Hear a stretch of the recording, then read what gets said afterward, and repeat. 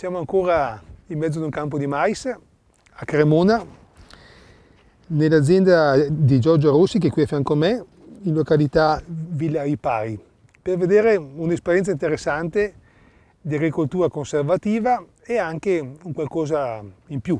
Questo è un mais coltivato su sodo, quindi non ha mai visto l'aratro, non ha mai visto l'erpice, è stato assolcato e seminato. Lo vedete anche voi, è molto bello, molto omogeneo, colore costante, piante belle, seminate a metà aprile. Ma sentiamo da, da titolare dell'azienda Giorgio Rossi il, una descrizione dell'azienda e cosa di particolare questo tipo di coltivazione. Sì Alberto, come dicevi tu, questa è una, un, siamo in provincia di Cremona, è un'aziendina di circa 30 ettari, eh, che, di cui una buona parte è coltivata ancora col metodo tradizionale, quindi con aratura, preparazione netto di semina e semina normale tradizionale, e una parte ormai invece da 5 anni abbiamo fatto una sperimentazione per quanto riguarda la subirrigazione. Devo dire che i risultati molto, promettono bene, è un, è un, sistema che dà delle soddisfazioni enormi, specialmente col passare degli anni. E tu prima hai parlato di agricoltura conservativa, ma devo dire cioè, che noi quando siamo partiti con questa sperimentazione non pensavo all'agricoltura conservativa. È stata dopo una conseguenza durante gli anni vedere, vedere cosa succedeva in questi campi e abbiamo capito che era del tutto inutile lavorare i terreni perché si riusciva a produrre di più con quel sistema qui. Mentre normalmente l'agricoltura conservativa ha un leggero calo di produzione quando si inizia, con questo sistema qui abbiamo avuto delle risposte sorprendenti. Fammi capire meglio, perché eh, allora, tu sei partito da una esigenza di irrigazione quindi? Sì, sì io sono partito, comunque essendo, essendo, una persona che vive in mezzo ai campi, che comunque è una vita che sono dedicato all'agricoltura, mi ha sempre dato tremendamente fastidio vedere eh, quelle quantità d'acqua che si riversavano sui terreni e con, con, eh, diciamo, con quelle tonnellate d'acqua, no? pensando che non era proprio forse il modo ottimale per, per l'irrigazione. Quindi ho cominciato a guardarmi attorno, ho cominciato a, a interessarmi agli impianti di irrigazione a goccia e che devo dire mi piacevano perché comunque la quantità di acqua data e erogata era, era decisamente inferiore, il calpestio del terreno inferiore, però quello che era un grosso handicap di questo tipo di sistema era il grosso costo della manodopera togliere e mettere questo impianto, perché comunque non so se, se li hai mai visti, sono impianti, eh, sono dei tubicini posati sul terreno che tutti gli anni devi mettere e togliere, Quindi recuperare. Sopra il terreno? Sopra il terreno. E poi questi tubicini qui naturalmente li devi smaltire, perché sì, è, plastica. è plastica che va smaltita.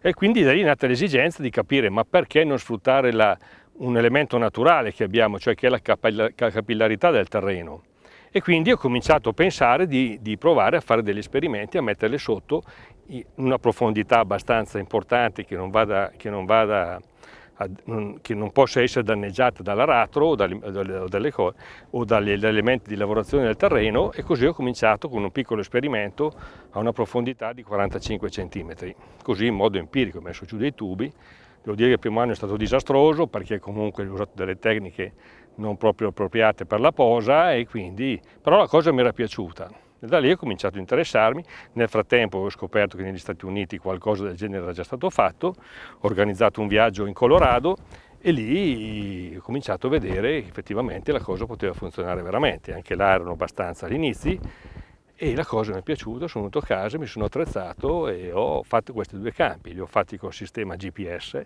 tutti i tubi sono posizionati a 45 cm di profondità col sistema GPS, quindi perfettamente rintracciabili un domani. E, e, e, lì dagli Stati Uniti l'esperienza era di mettere un tubo ogni 1,50 m. Devo dire che il primo campo che abbiamo fatto, che dopo vediamo, io avevo già stretto perché non mi piaceva la cosa, l'avevo portato a 1,20 m di interfila.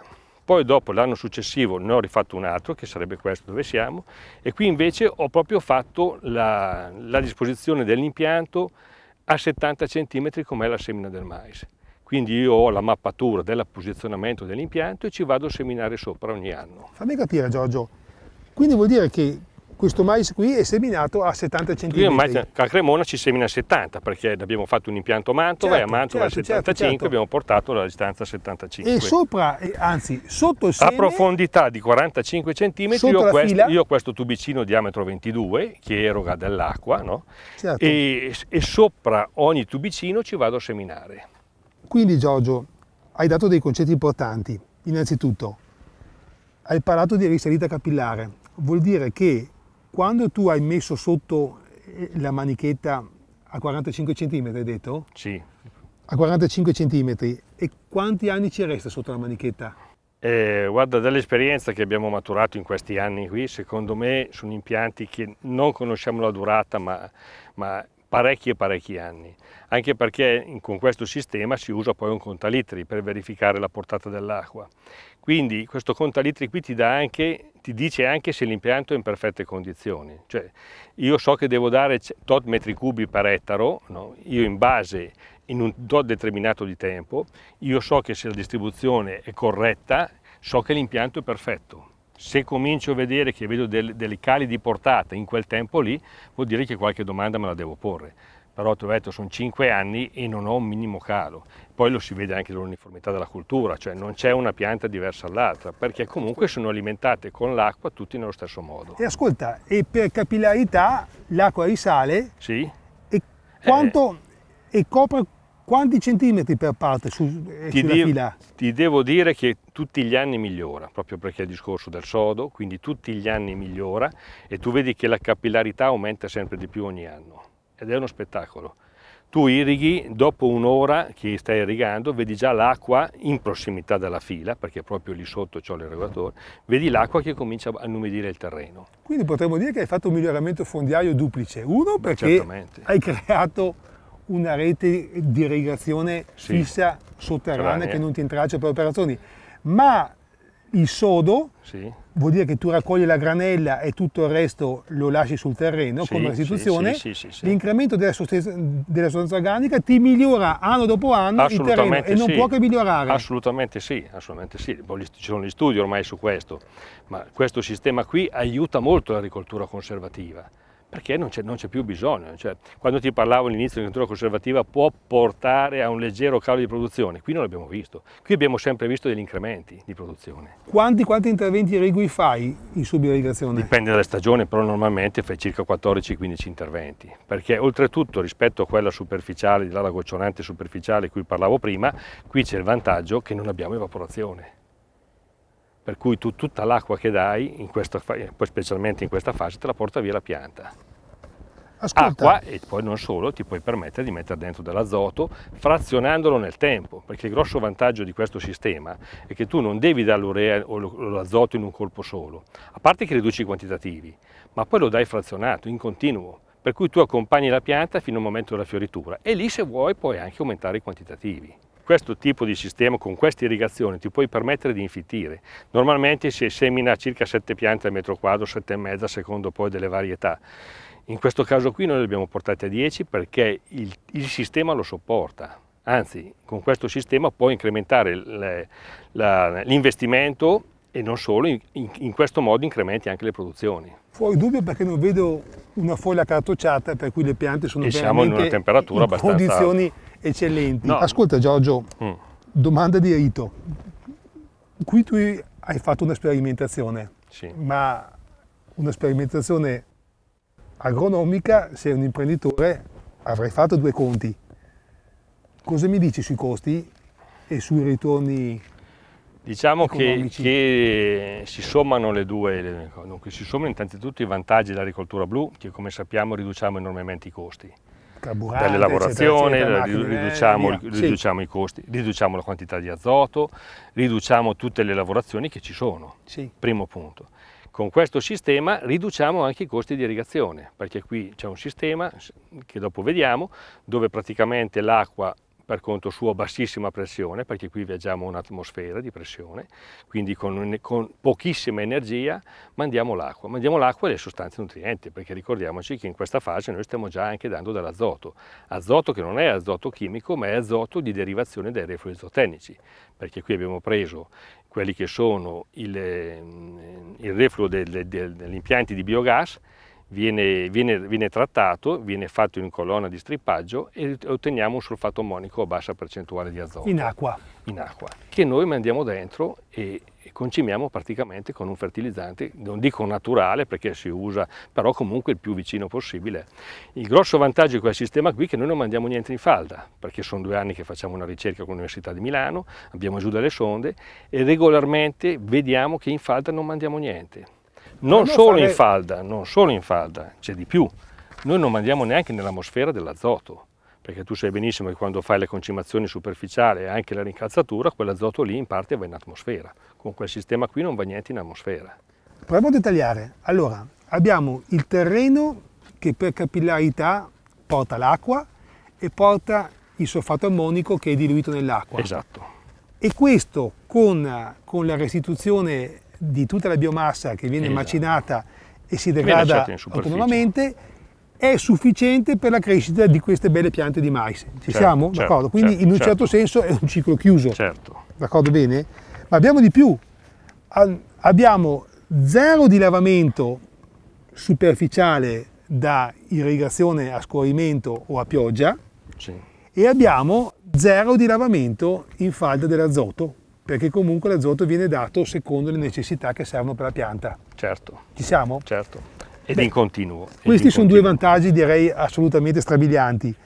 E la qualità della granella, cioè il fatto che tu non bagni la pianta,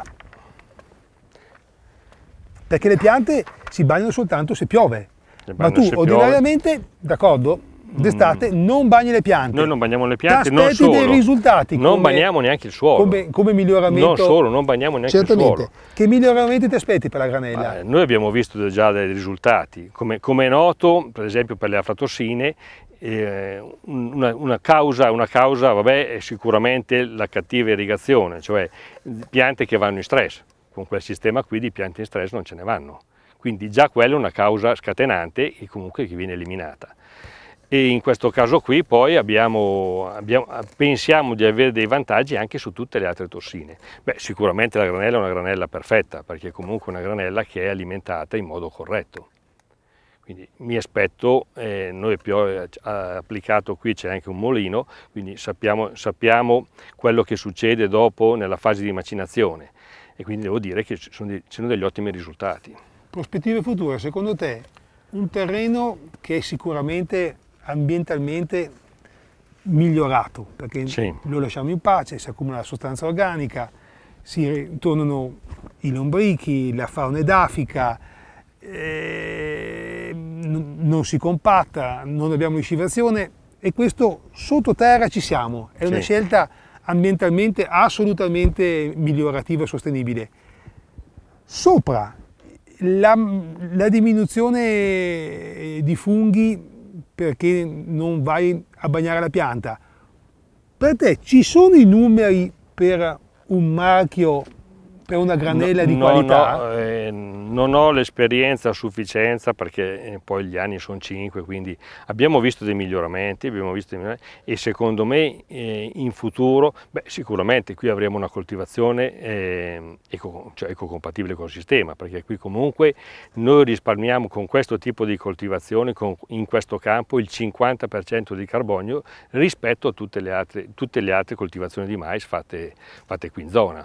Quindi già questo ti dà l'idea di un prodotto fatto eh, rispettando l'ambiente. Non solo, io mi aspetto dei risultati anche in termini qualitativi, oltre che quantitativi, che quelli li abbiamo già, li abbiamo già visti.